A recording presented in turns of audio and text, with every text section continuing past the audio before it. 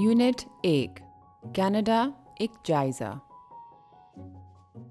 Canada मुख्तलिफ़ तहजीब तमदन, सकाफ़तों और शहरीतों के हामिल अफराद पर मुश्तमिल फ़ाल और मतहरक माशरा है। कनाडा एक ऐसा मुल्क है जहाँ तनवों को कदर की निगाह से देखा जाता है और यहाँ का कानून सब पर यकसा तौर पर लागू होता है। कनाडा में अवाम से तवक्को की जाती है कि वो तमाम लोगों के साथ रवादारी और एहतराम के साथ पेश आएँ। यहाँ पर उम्र, जिन्स ज़ात समाजी तबके, अजदवाजी और ख़ानदानी हैसियत, ज़बान, मज़हब, इमिग्रेशन की हैसियत, जिनसी इजहार, सलाहियत और मजूरी की तफरीक का कोई जवाज़ नहीं इम्तियाजी सलूक का शिकार लोग वो काम नहीं कर पाते जो दूसरे आज़ादी से कर लेते हैं। किसी के साथ इम्तियाजी सलूक रवा रखने का मतलब ये है कि उसके साथ दूसरों के मुकाबले में गैर मसावियाना और मनफी बर्ताव किया जाए। कनाडा के कवानीन के मुताबिक दूसरों के साथ उनकी हैसियत की वजह से बुरा सलूक करना या गैर मसावियाना रवैया रखना गैर कानूनी है। कनाडा एक कसीरुल सकाफ़ती मुल्क है, जहाँ मुख्तलिफ़ कौमियतों की पजीर आई की जाती है, लेकिन इसके बावजूद यहाँ पाँच में से एक फ़र्द इम्तियाजी सलूक का निशाना बनता है और अवाम इस हकीकत से वाकिफ़ है। कनाडा में इम्तियाजी सलूक के बायस पुरतशद इकदाम आम नहीं हैं, ताहम ये कानून की संगीन खिलाफ वर्जी है। इम्तियाजी सलूक की मुख्तलिफ़ सूरतें हो सकती हैं बाज़ अवकात उसकी निशानदही करना आसान होता है, लेकिन बाज़ सूरतों में ये पोशीदा रहता है। आइए इम्तियाजी सलूक की चंद मिसालों पर नज़र डालते हैं।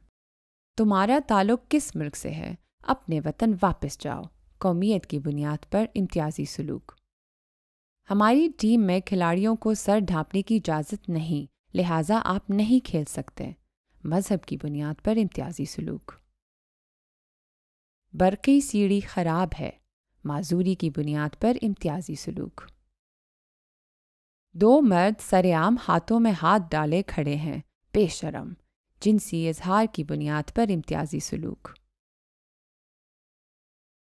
ख़वातीन इस मुलाजमत की अहल नहीं हैं, सनफ की बुनियाद पर इम्तियाजी सलूक।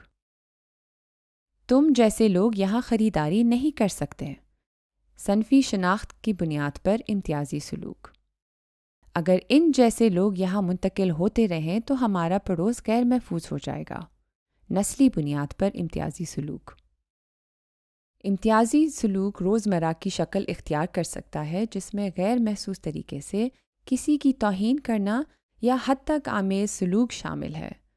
उसकी चंद मिसालें ये हैं। कम अकल समझकर बर्ताव किया जाए। मशकूक समझा जाए।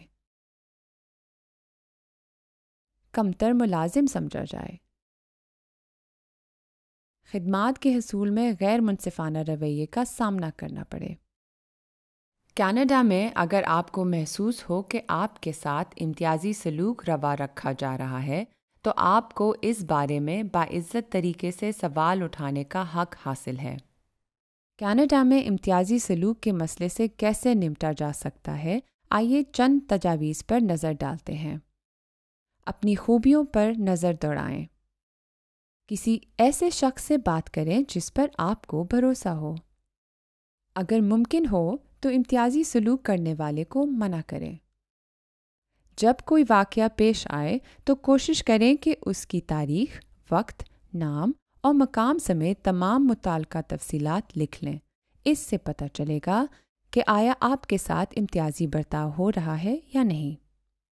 आप जहनी अमराज के मालज या किसी माहिर नफ्सियात से भी रुजू कर सकते हैं। रहनुमाई के लिए मुकामी पुलिस के गैर हंगामी फ़ोन नंबर पर रबता कर सकते हैं। अगर आप ख़तरे में हैं तो पुलिस और इमरजेंसी सर्विस के लिए 911 पर रबता कर सकते हैं। अगर आपको दफ्तर में हरासा किया गया है तो हरासगी की रोकथाम के लिए अपने आजर की वज़ा करदा पॉलिसी के बारे में मालूम हासिल करें।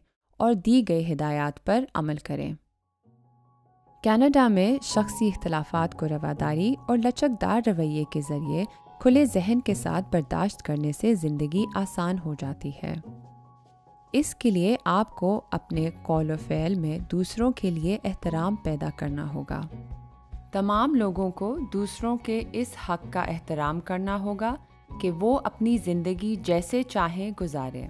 अगरचे उनके तौर तरीके आपसे मुख्तलिफ़ ही क्यों ना हों। और सब के साथ बिला तफरीक मुनसिफाना रवैये को फ़रोग देना होगा।